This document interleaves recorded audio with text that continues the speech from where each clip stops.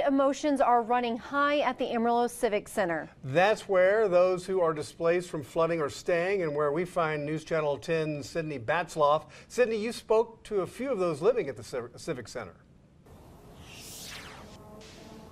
Greg, Lindsay, I have. They've been through a lot from being forced out of their homes, leaving everything behind, to now coming to the Amarillo Civic Center, making it home. Some tell me they don't know if they're going to have a place to return home to, so it's become a frustrating waiting game.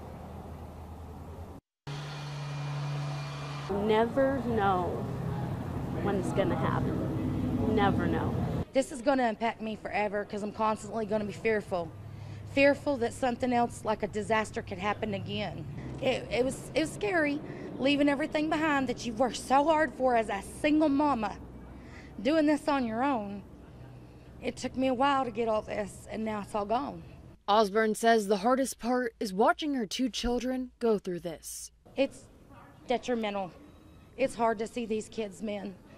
Everything they had, their comfort, their security, has been literally pulled the rug out from under them right now. We just want to be able to go do things. And a lot of us are hurt physically, mentally, emotionally. As for the future, I have no idea. And that's that's hard the uncertainty of knowing what's going to happen next and how it's going to happen and if it's going to happen because right now we're in limbo. We're stuck between a rock and a hard place literally.